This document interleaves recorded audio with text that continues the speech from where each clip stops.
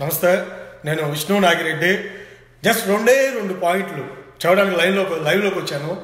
ఏంటంటే మొన్న రాజమండ్రిలో పవన్ కళ్యాణ్ గారు నిర్వహించినటువంటి కవాతు ఏదైతే సూపర్ సక్సెస్ అయ్యిందో ఆ తరువాత మీరు చూసే ఉంటారు చాలామంది మహిళలు కావచ్చు అంటే మిగతా పార్టీ అబ్బాయిలు కానీ సోషల్ మీడియాలో పవన్ కళ్యాణ్ గారి ఫోటోలు పెట్టుకొని పవన్ కళ్యాణ్ గారిని విమర్శించటం తిట్టడం అది కూడా వల్గర్ లాంగ్వేజ్లో పచ్చిగా తిట్టటం ఇలాంటివి చేస్తూ ఉన్నారు.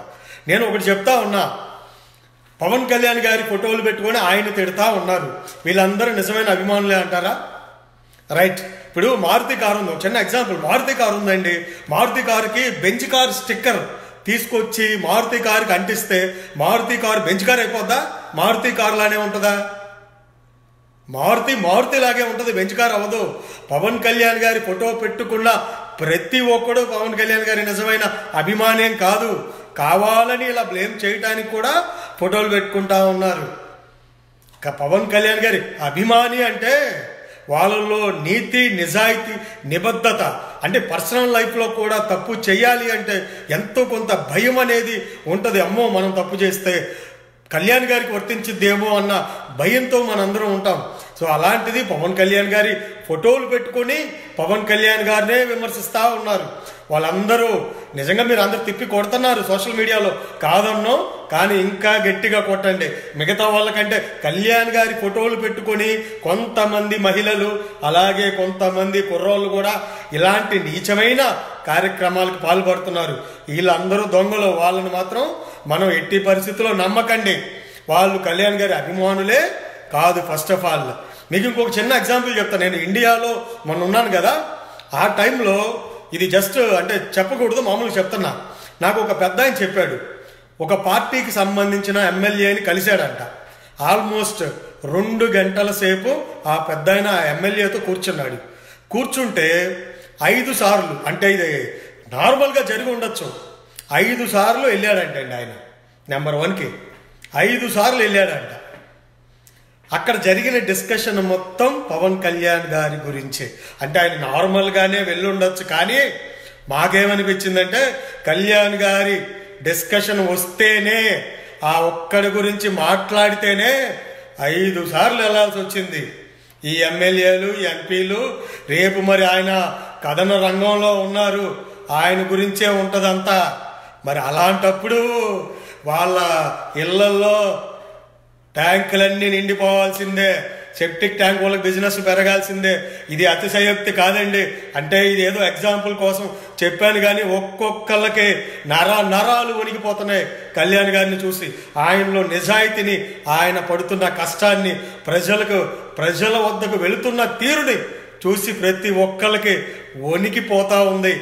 కాబట్టి అభిమానులు కావచ్చు కార్యకర్తలు కావచ్చు ఎక్కడ కొంచెం కూడా అధైర్యపడద్దు. పార్టీలోకి పెద్ద పెద్ద నాయకులు వస్తున్నారు. పార్టీ బలోపేతం అవుతుంది. మంచి మంచి చదువుకున్న యువ నాయకులు కూడా మన పార్టీలోకి వస్తూ ఉన్నారు. ఇది అతిశయోక్తి కాదు. నిజం. ప్రతి ఒక్కళ్ళు ఇంకా కష్టపడండి. ఇంకా ముందుకెళ్దాం.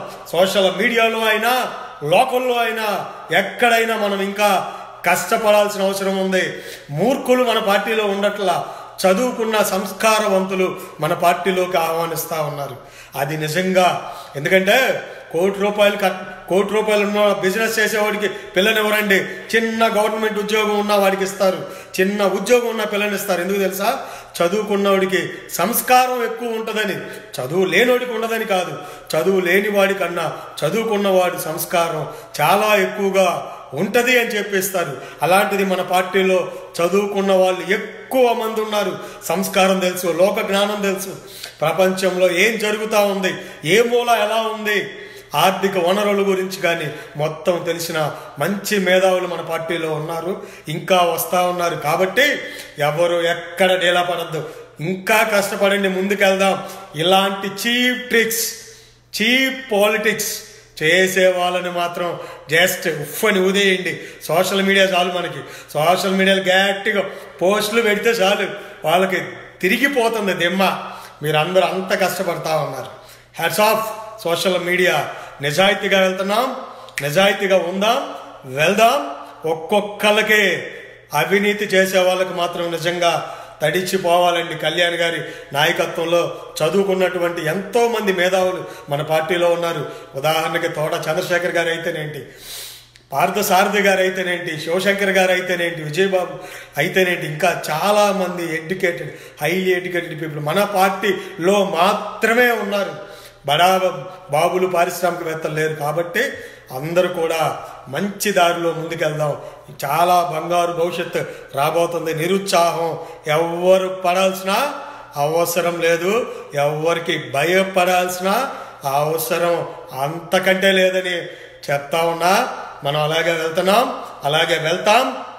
పవన్ కళ్యాణ్ గారి అడుగు జాడల్లో ముందుకు వెళ్ళటానికి చీప్ ట్రిక్స్ పాటించే చీప్ ట్రిక్స్ ప్లే చేసే ప్రతి ఒక్కళ్ళని తరిమి ఫు ఫు ఫు ఫు అని ఊది. పక్కన పడేద్దాం. మనందరం జన సైనికులు తలుచుకుంటే ఒక్కొక్కడికి ఏం జరిగిద్ది అనేది మాటల్లో కాదు చేతల్లో మన పనిలో చూపిద్దాం. ఏమంటారు? నేను మెసేజ్లు ఇప్పుడు చూడను తర్వాత చూస్తాను. జై Hind! Subscribe to our channel and press the bell icon for the latest updates.